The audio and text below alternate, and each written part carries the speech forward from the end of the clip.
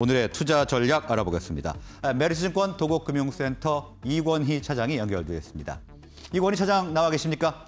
네, 안녕하세요. 시장입니다. 네, 안녕하십니까. 자, 오늘 어떤 이슈 주목하고 계신가요?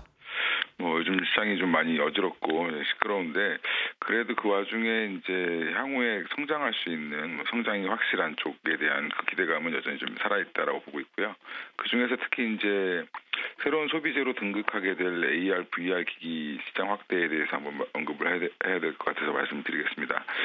일단 뭐 몇, 최근에 이제 뭐 작년부터 나온 뉴스지만 메타, 뭐 마이크로소프트, 소니, 애플, 구글 등이 다 이제 이 기기 시장에 참여하겠다라고 지금 어, 사활을 거는 이제 그 얘기를 했고요. 발표를 했고 관련해서 이제 소재 부품 기업에 대한 관심이 좀 증가됐었습니다. 작년 연말에도 증가됐었는데 최근에는 조금 주저하고 있는 상황이고 특히 이제 그 안에서 주요 부품 중에 여러 가지가 있지만 이제 주로 이제 기판 쪽 관련된 종목들이 좀 많이 올라갔던 부분이 있었는데 특히 OLED 패널 수요가 이제 오히려 증가할 걸로 예상을 하고 있습니다. 기존에 이제 초창기 모델인 AR, VR 이제 기기 같은 경우는 대부분 이제 LCD 모델로 많이 나왔는데 이제 이게 워낙 눈 가까이 되고 있는 거기 때문에 이런 화질이라든지 이런 것도 되게 중요하다라는 부분, 해상도도 중요하다는 부분에서 OLED 소형 OLED로 이제 교체될 가능성이 높다라고 보고 있고요. 관련해서 이제 우리나라 이제 주요 기업들 이제 LG 디스플레이라든지 삼성 디스플레이 같은 경우는 이제 OLED 소형 OLED 쪽에 특히 삼성 디스플레이는 굉장히 탁월한 성능을 갖고 있기 때문에 관련해서 이제 수혜를 받을 걸로 예상을 하고 있습니다. 관련 이제 디스플레이 그 그걸 통해서 이제 디스플레이 소부장 기업들 좀 주목해 볼 필요가 있다고 생각하고 있고요.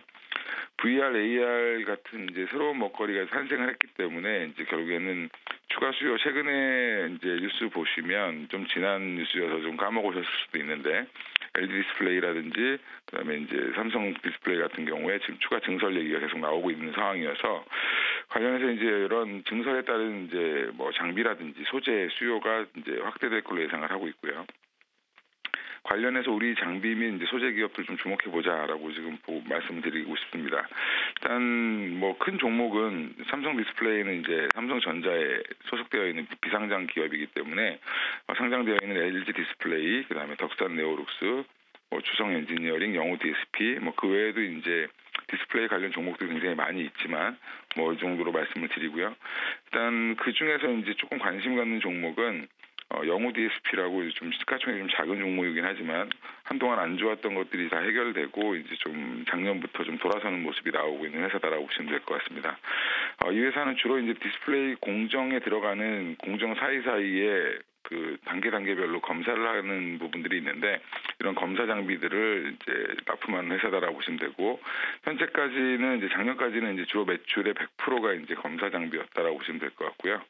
어, 이 검사 장비를 만들 때 쓰는 이제 여러 가지 뭐 기술들, 그 비전 알고리즘이라든지 뭐 딥러닝 기반의 AI라든지 광 레이저 기반 정밀 측정 이미지 processing 기술 이런 것들을 보유하고 있어서 어, 이 분야에서는 좀 탁월한 회사다라고 보시면 되고 현재 매출은 대부분 이제 수출에 의존을 하고 있습니다. 주로 이제 중국 업체들이 이제 디스플레이에 많이 진출했기 때문에 관련해서 이제 한 80% 가까이가 지금 수출로 이루어지고 있고 20%가 내수 정도로 보시면 될 것 같은데 지금 최근에 이제 뉴스를 보시면 BOE라든지 중국의 이제 업체들도 OLED 패널들을 이제 뭐 애플에 공급하기 시작했다라는 얘기가 좀 나오고 있고요.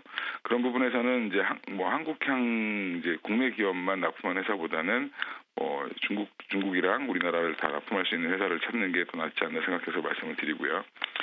어 그리고 이제 이런 부분들이 투자가 계속 활발해진다라고 하면 오히려 이제 수혜는 계속 예상된다라고 보고 있고요.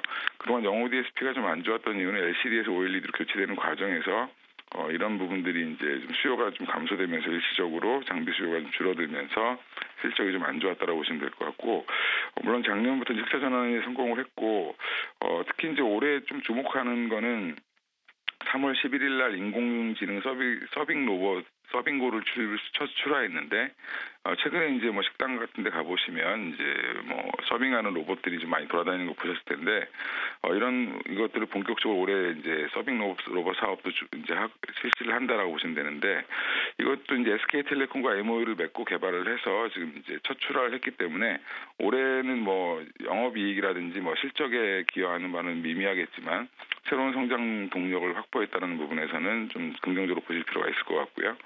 어, 결국엔 로봇을 어떻게 만들었냐 갑자기 결국에 이제 기존에 갖고 있던 그런 검사 장비에 쓰이는 기술들이 결국엔 로봇에서도 똑같이 쓰인다라고 보시면 되고 그런 부분들을 좀 확대해서 원래 갖고 있던 보유한 기술을 로봇 산업에 적용시켰다라고 보시면 될 것 같습니다. 어, 매수가는 지금 한 2,300원 부근 정도면 충분히 매수 가능할 것 같고요. 목표가는 3,000원, 손절가는 2,000원으로 말씀드리겠습니다. 네, AR, VR 기기 시장 확대와 관련해서 영우 DSP 관심주로 분석을 해주셨습니다. 오늘 말씀 고맙습니다. 예, 감사합니다.